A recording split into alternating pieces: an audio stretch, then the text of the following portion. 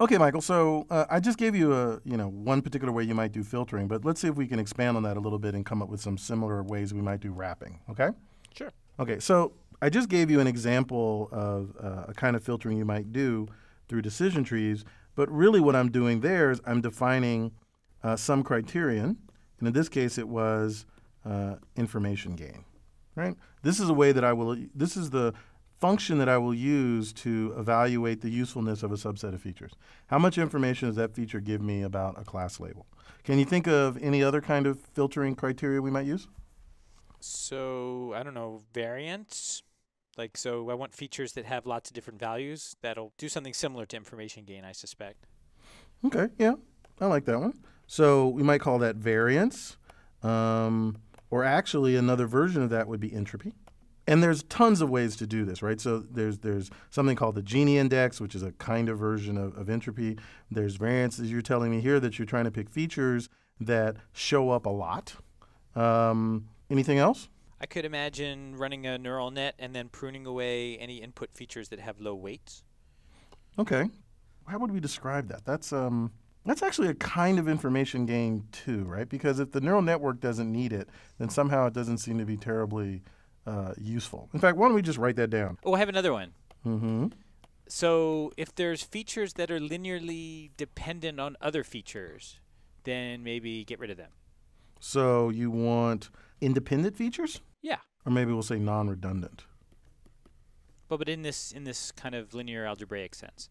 Right. So if I have uh, a feature, let's say x2, which turns out to be equal to, you know, x1, plus x3, then I should probably get rid of x2. Is that what you're suggesting? Sure. Yeah, that's that is what I'm saying. Okay, good. And that makes sense because I don't need x2. Well, in a, in principle, it gives yeah, as you said, redundant information. But it also is the case that for some learners, like neural nets, it shouldn't really even feel the difference. For things like um, decision trees, it might matter though, because having it having those that sum together in one place could be more useful to split on. That's true, but I do think you said something important there, which you says it shouldn't feel the difference. You, you're defining whether this is good or bad in terms of whether it helps you to learn. But if we can get rid of a feature, then we save expon- as we get rid of features, we save exponentially on the need for data.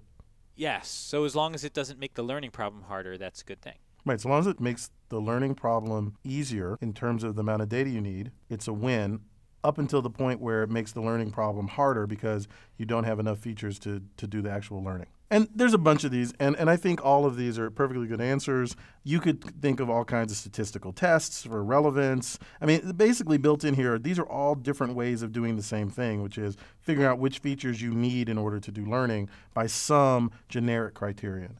Um, I do want to point out that something like entropy doesn't even depend on the labels. Whereas something like information gain, which is a kind of conditional entropy, does depend upon knowing the labels. Uh, what about wrapping? How would you go about doing wrapping? So we've got a bunch of, of different ways we might do filtering.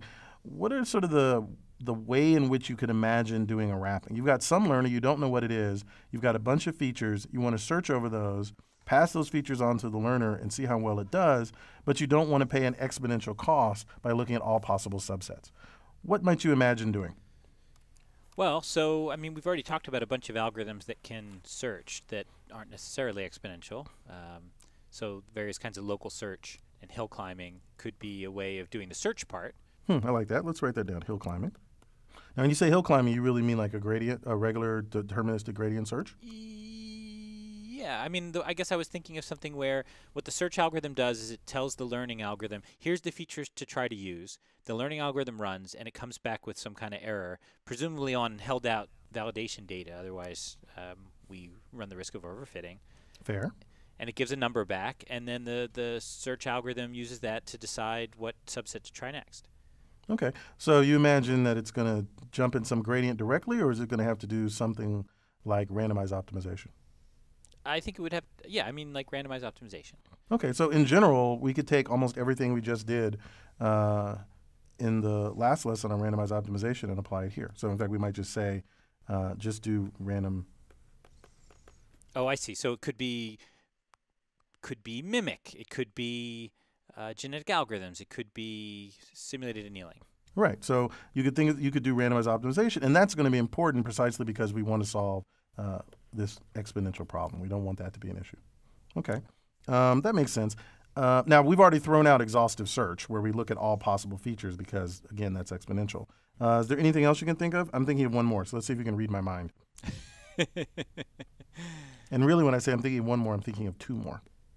Oh, that's that are not randomized optimization algorithms, but they're going to somehow search Mm-hmm. a star. Yeah, but that's not what I was thinking of. Oh, I give up. I'll give you a hint. You could go forward or you could go backward. EM. No, no, no, no. Uh, although I like that. that wouldn't be forward or backward, wouldn't it? No, I'm thinking of exactly uh, forward sequential selection and backward elimination. I don't think I know what that means. Oh, so let's talk about that then.